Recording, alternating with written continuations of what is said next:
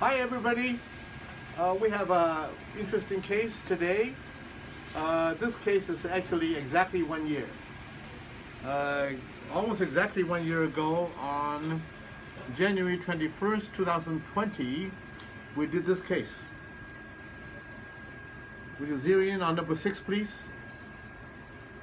This is what we started. Now today is 1 15 21 we have this result.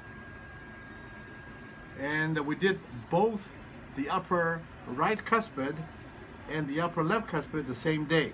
So this is the upper left cuspid and this is here today.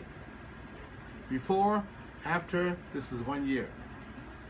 Before after this is one year.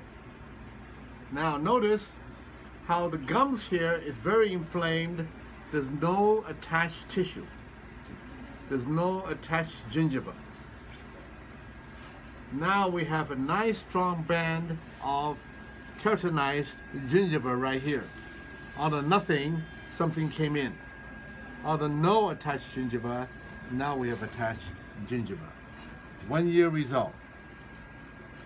Okay, and um, and so we're going to ask the patient, um, uh, how do you like the results, number one? It's good. He said he misses it because he doesn't get to scare the girls anymore. I miss it for Halloween. now, do you remember when you had it done, did you hurt a lot? Was it easy?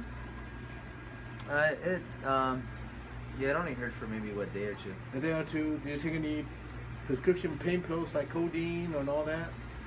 I don't, I don't believe so. Yeah, you you had uh, what uh, Tylenol or something? Yeah, it was very minimal though. Very minimal. Okay. Yeah. So, so because this is a pinhole surgical technique, there's no incisions, no suturing, and this is the result we, we, we got after one year, and uh, no suturing, uh, no uh, no no cutting, and yet we have wonderful results doing this.